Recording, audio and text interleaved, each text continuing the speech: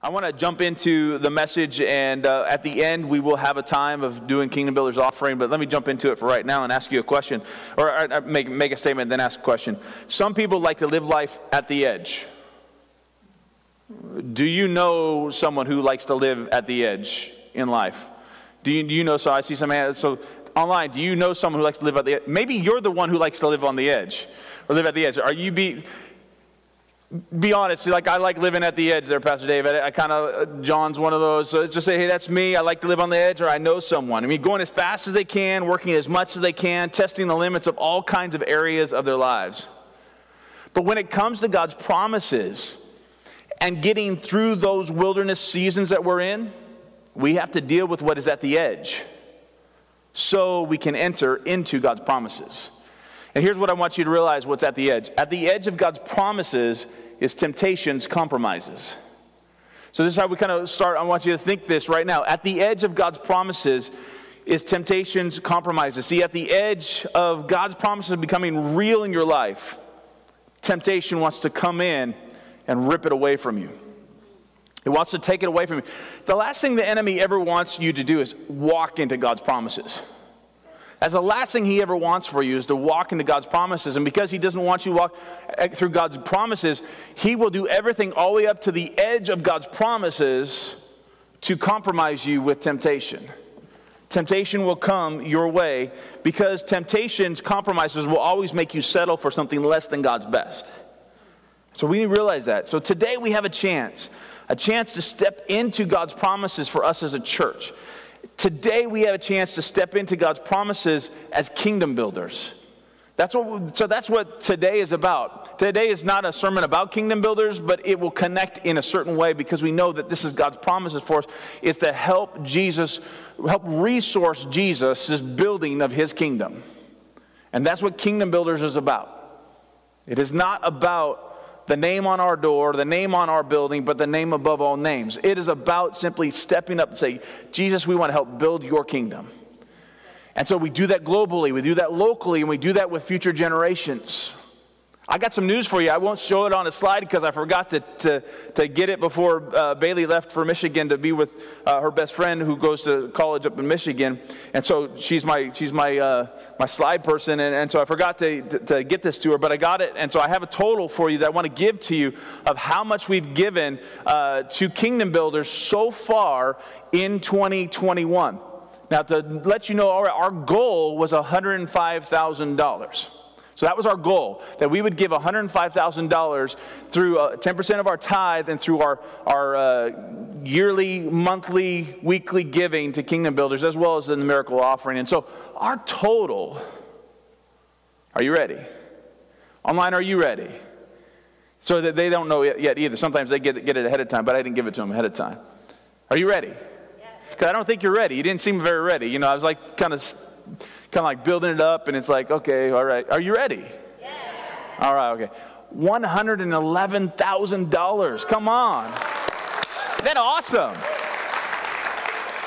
Put that in perspective is in the first 16 months, because we had started Kingdom Builders in 2019, the, first, the first, last four months of 2019. The first 16 months, we gave 112,000.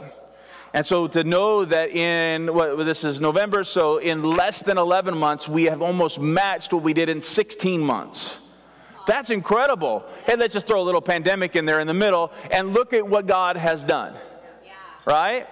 Now, so, so, that's exciting. And one of the things that, that how it got to that number is because you guys went like lights out on our Mother's Day, Father's Day giving our Mother's Day, Father's Day giving just blew us out of the water in, in the particular projects that was hitting, whether it was Rescue Sunday, which was rescuing uh, girls from sex trafficking, or uh, it was feeding uh, kids for, for 12 months. Those two, that feeding kids during Father's Day, rescuing uh, kids, or, or, it's mostly girls, but kids from sex trafficking uh, you know, on Mother's Day. And in those two alone, I don't have the number, but those two alone, we blew it out of the water. And so that's why we're at $111,000 we still have projects to fully fund because you'd be like, oh, good, we're done, right? Why are we doing the miracle offering? Because there's still projects that need to be fully funded.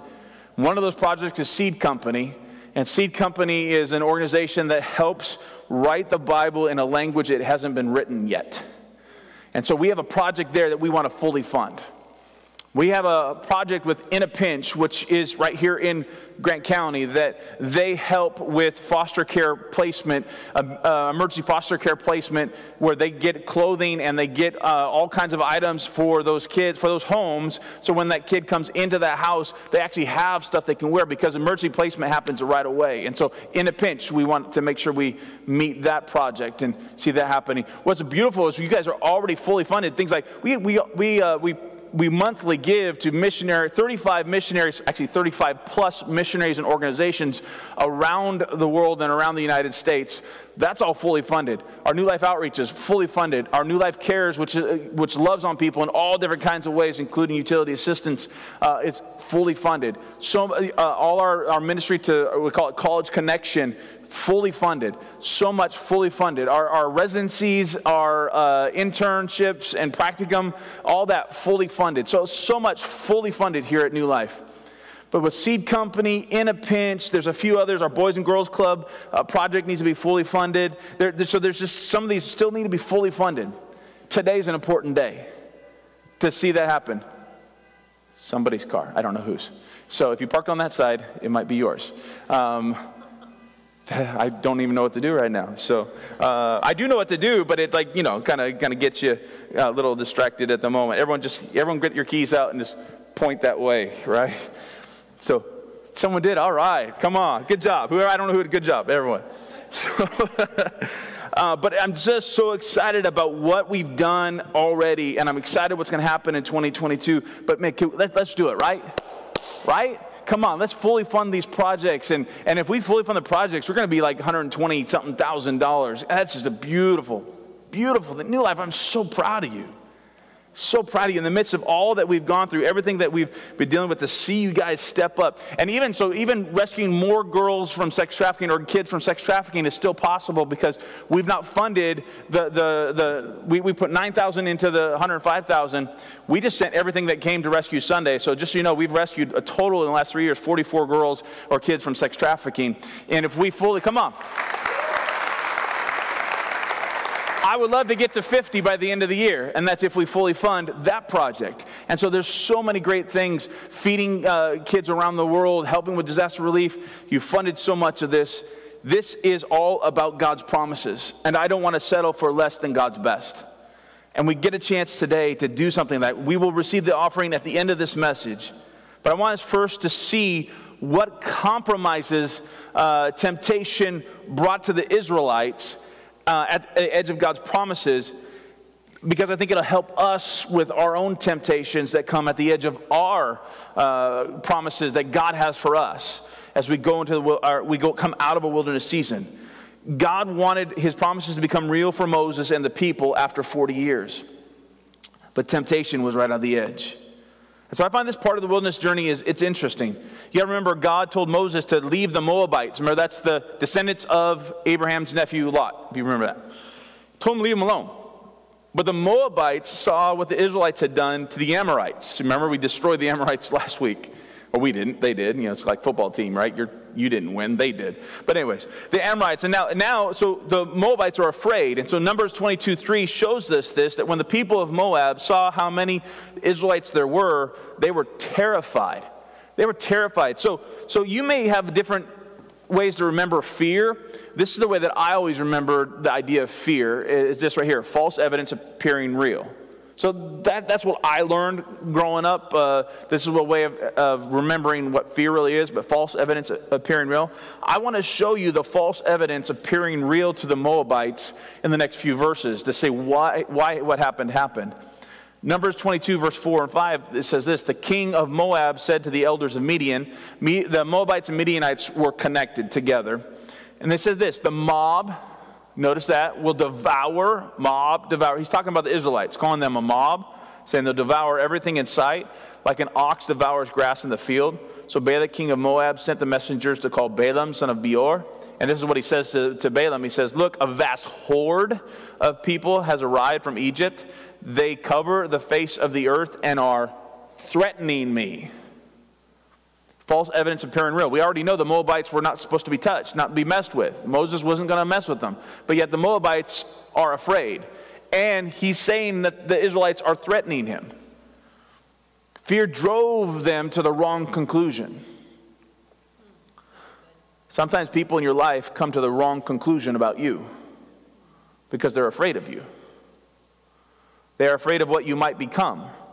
They're afraid of what you might say. They're afraid of what you might do, even though you have no intentions of even bothering them, let alone threatening them. It's not fair. I know that's not fair. But it's part of the reality of our life is that sometimes people simply are living in fear and they get the wrong conclusion about you. And they don't even know who you are. I know it's not fair. But look at this. So, in the fear, the Moabite king calls for Balaam to curse Moses and the people. I got a lot of stuff to say, but I'm going to just pull back and just say just because people have the wrong conclusion about you, can I just tell you that God doesn't? He knows who you are. He actually knew you before your mother really knew you because He knitted you in your mother's womb. And He knows you and He loves you even though He knows who you are. So I don't know who that was for, but that ain't nowhere on my notes, but that was for someone online or in person today. Just to know, someone else may have a wrong conclusion about you, but God doesn't. All right? All right, okay. Uh, keep going to, uh, I think I'm on verse, yeah, verse 4 and 5 says, The king, oh no, verse 6, give me verse 6. Please come, and so he called Balaam and he asked Balaam, Balaam to do this. Please come and curse these people for me because they are too powerful for me. That perhaps I'll be able to conquer them and drive them from the land. I know that blessings fall on any people you bless and curses fall on people you curse. So he's t- telling Balaam, Balaam, I know you got the goods to do this. I know you can curse anybody and curses happen. I know you bless anyone and they get blessed. And so, uh, he, and so it, when we first look at Balaam, it kind of looks like uh, Balaam is a good guy. Like he's on God's side here. And because this is what he says to the king in a couple of verses. There's a couple things that happen. He says he can't deliver on what, what the king wants because of Numbers 22 12. It says, God told Balaam, Don't go with them. You are not to curse these people, for they have been blessed. And then verse 18 of that same, uh, same chapter says, But Balaam responded to Balak's message, Even if Balak were to give me this palace filled with silver and gold, I would be powerless to do anything against the will of the Lord my God. Yeah, I mean, I love the last Lord my God. Balaam is putting God, the Lord Yahweh as his God. And so you're like, okay, Balaam's, Balaam's a good guy. If you read through the next few chapters, uh, 20 to 24, you, you, get the sense like, like Balaam's simply like, I can't curse because God wants me to bless. And he's like, like he's a, this good guy. It feels like Balaam's a good guy. Can I tell you, Balaam's not a good guy? I'm going to show it to you. I'm going to show you how Balaam, though he says, Lord my God, he's really not. Now, I'm, some of you are going to be disappointed that I'm not going to deal with the donkey. All right, there's a there's an episode in the second half of Numbers 22 about a donkey who he beats, and it actually turns around and talks to him. And all I say is this: even donkeys can be used by God. So so, anyways, we'll, even donkeys in your life can be used by God. But we'll, we'll move on. Okay, that's all you get from me. Uh, I'm going to dig a little deeper into Balaam. And here's the dig, digging deeper part. I'm going to give you three verses to show you that Balaam wasn't a good guy. All right, so first, Joshua 13 22 says this Balaam, son of Beor, who used magic to tell the future.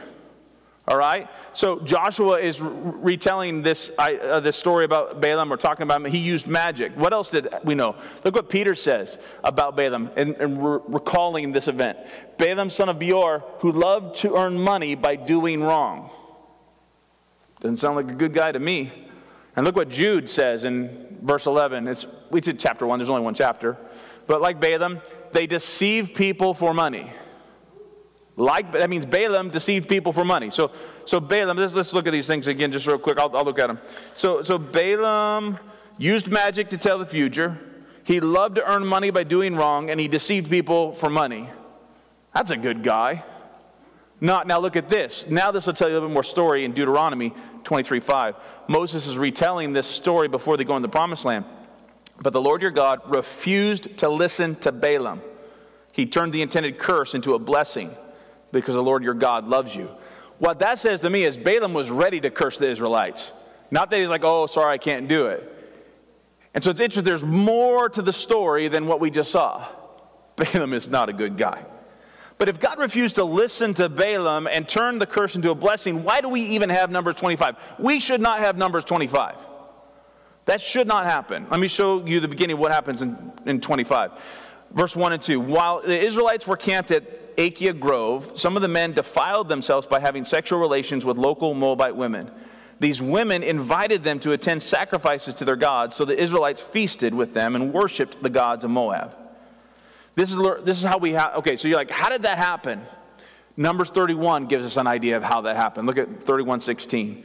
These are the very ones, talking about those Moabite women, these are the very ones who followed Balaam's advice and caused the people of Israel to rebel against the Lord at Mount Peor.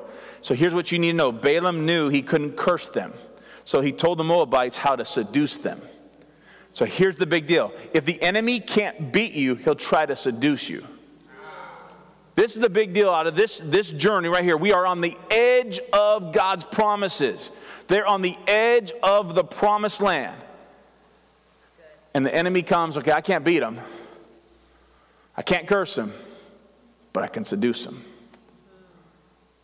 Satan couldn't beat God's people during the wilderness season, so he tried to seduce them at the edge of it and the edge of God's promises. He'll try to do the same to you in your wilderness season. If he can't succeed uh, during the wilderness season, he'll try to seduce you with an offer that's less than God's best. And usually, his, his offer is at the edge or at the end of a season. You're about to walk through. He, see, you got to give Satan a little credit. He understands the journey of life, he's been around longer than you. And so he understands, he can see the signs to some degree of stuff is happening. I see where they're about to go. I mean, he was no dummy. He knew they were about, they're so close to the Jordan River, about to cross over. He's like, man, what can I do? What can I do? What can I do? What can I do? Ah, let's curse him. I'm going to get Balak to get Balaam to curse him. Ah, that didn't work. Okay, I'm going to get Balaam to tell Balak how to seduce them. And that did work. That's why you got to remember at the edge of God's promises is temptations compromises. At the edge of God's promises, temptations, compromise. So, what did Moses do when compromise entered the camp at the edge of receiving God's promises? Okay, so now compromise comes. They, they were, they've been seduced. They've given in. They had sexual relations with these women. They, they started worshiping, not just feasting, but feasting and worshiping with, with these, these idols of Baal or whoever it was. And look at what Moses says in verse 4 and 5. He says this the Lord issued the following command to Moses Seize all the ringleaders and execute them before the Lord in broad daylight. So his fierce anger will turn away from the people of Israel. What you don't know is a plague is happening at the same time. I'll show it to you in just a second. So Moses ordered Israelites judges, each of you must put to death the men under your authority who have joined in worshiping Baal Peor. It wasn't that they just had sexual relations with Moabite women. They, they, not that they even just ate at the place that was the place of worshiping Baal, they worshiped Baal. They turned from their God. And so you've got to step back from the edge and ledge of compromise. Get rid of the sin that uh, and temptation that lingers. It's like, it's like this dual thing, if I can get this for you guys to see where we're just about to enter into the promises that God has for us. We're at the edge, at the end of a season. We're about to walk into God's promises. We're about to walk into them. We're also got to be careful of, of another edge, and that's the edge and ledge of compromise. And so it's like this double thing. You have to be like not on the edge and ledge of compromise as you're at the edge of God's promises. And I'm telling you, when you're at the edge of God's promises, it's easy to also be at the edge of, of temptations, compromises, because like, I'm almost there. I'm almost there. It's so close. And we can just kind of fall short because we kind of drop our guard because we're so close. So we want to be, as we're at the edge of God's promises, not at the edge of temptations, compromises. So, so, so I hope you can understand that, that, that dual nature of the edge. Because there is a good edge to be at and there's a bad edge to avoid. The good edge is God's promises. We want to walk into his promises. The bad edge is where temptations, compromises are. And so you got to learn how to kind of balance that, especially at this particular moment. How do we deal with that? Believe it or not, the situation doesn't get better after they start doing this, it gets worse. Look at verse 6. It says, just then. So this is just, so, so uh, verse 6 is setting up the idea they're, they're going to have to kill the men who have done wrong, who have been seduced into worshiping something other than God and, and giving into relations to, with, with women who were not their wives. And it says, just then, one of the Israelite men brought a Midianite woman into his tent. That's bad enough. But read the next part with me. Right before the eyes of Moses and all the people. Hey, let me just sin right in front of you. Uh, even more so, look when it happens. As everyone was weeping at the entrance of the tabernacle, they're in the midst of God's presence. They're in the midst of, of coming clean before God. In the midst of, of trying to do what is right, someone blatantly, openly does wrong right before their eyes. Wow. blatant open sin in the camp. I'd like to tell you that that's just a thing from back in Moses' day, but it's not. Blatant open sin in the camp, in the church, is still alive. And unfortunately, alive and well.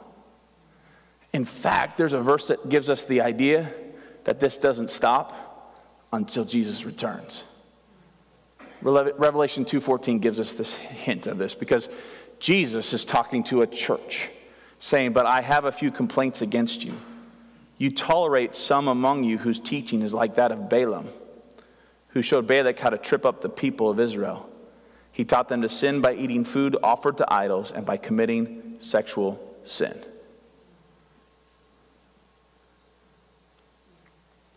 It's, oh, it's still happening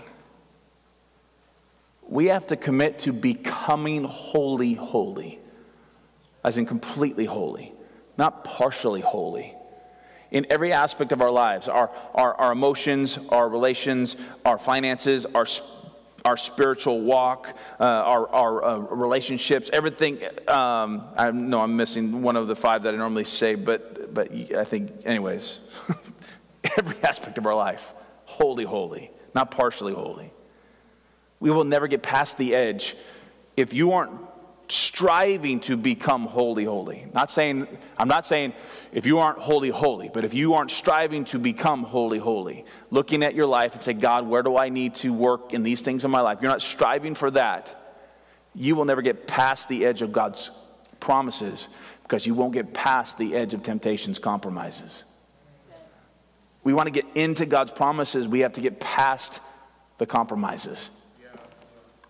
We have to. So the question why do these two sins always seem to pop up? Sexual sin and food sacrifice to idols.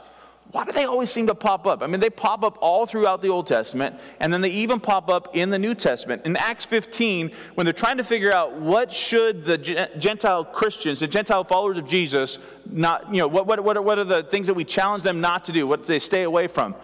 Two of the three things they're told to stay away from is sexual immorality and food offered to idols. Okay? Then in 1 Corinthians, Paul makes an, a, a, very distinct effort to talk to those Gentile followers in 1 Corinthians 6 12 and through 20 and 1 Corinthians 8 11 1 through 13. In both those situations, the top one is about sexual sin, the bottom one is about food sacrificed to idols. Both here were done together in the worship of another God in those days. So, in those days, food sacrificed to idols, eating food offered to idols, and, and sexually uh, being immoral were tied into the same. They weren't like one's, one thing, they, they, they were connected together. We then see in 1 Corinthians 6, uh, 9 through 10, there's this list. It's a list of, uh, of sins or, or, or, or, people who won't en- enter the kingdom of God. The top, let me help you guys with lists just real quick. If you see a list in the Bible, typically what they're trying, one of the things that you do within in that reading is to see the first one and the last one. And usually a list on purpose has a first and a last in the order that it is. If you look at that list in 1 Corinthians 6, the first thing is sexual immorality. The last thing is on cheating, because sexual sin cheats people. That's why when it comes to the fruit of the Spirit, love is first and self control is last, because love will help control you. And so we need to understand these things about that. Then, food offered to idols was putting their confidence in that idol. When you ate food offered to an idol, it was that you put your confidence into that idol to solve your problems. It's like putting human confidence into something or someone other than Jesus. So, can I just first of all say, sex is not bad and food is not bad.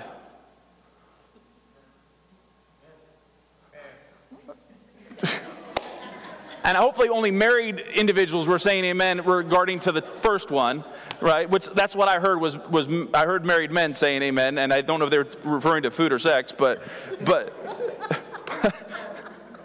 but i want to help real quick because it feels like sometimes in the church we kind of like you know we're so hard on sexual sin that you can get to the point of thinking that somehow sex is not good no sex is good Food is good.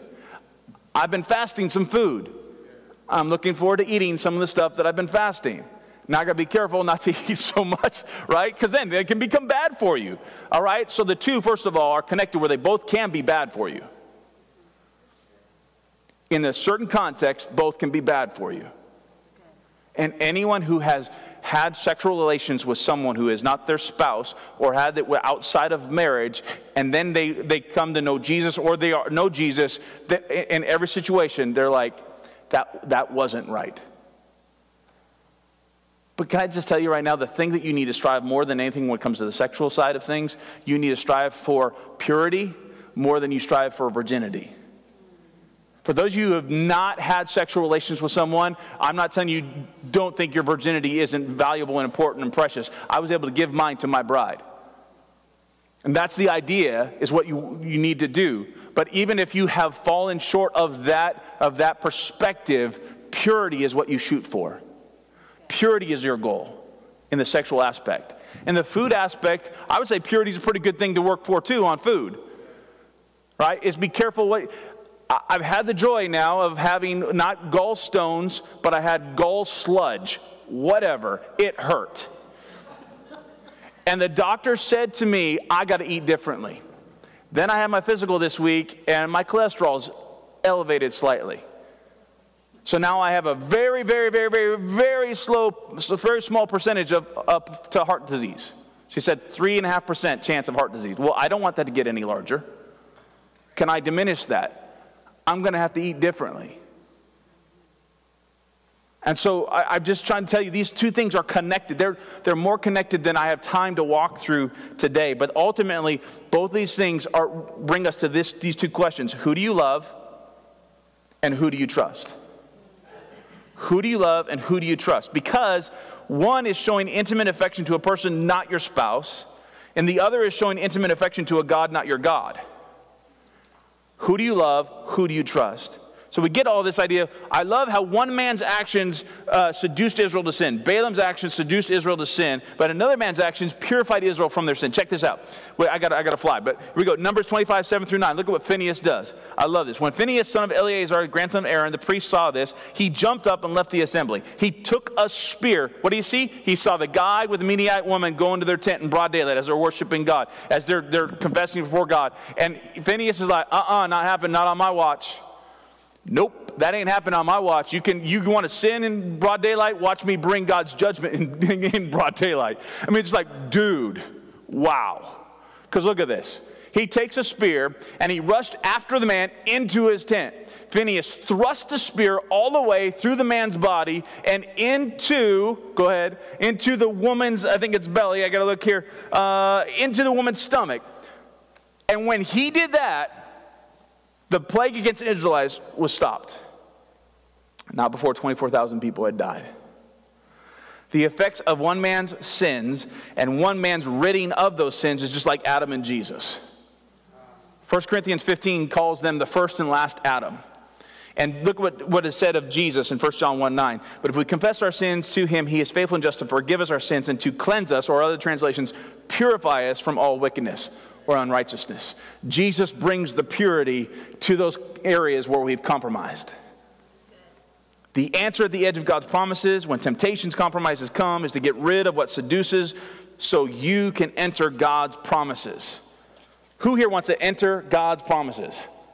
Come on online. Who do, you, do you want to enter God's promises? Then you have to do this. And so what happens here, look at this, verse 16 through 18 says, Then Lord said to Moses, Attack the Midianites and destroy them, because they assaulted you with deceit and tricked you into worshiping Baal Peor.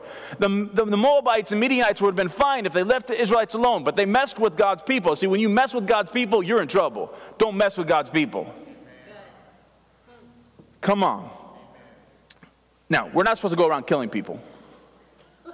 This is not a literal, like kind of like you know when, when it says when your sin when your hand causes you to sin, cut it off. That's not a literal, not not a literal thing. So this isn't like literal. When when someone has helped seduced you into to sin, you're not to go kill them.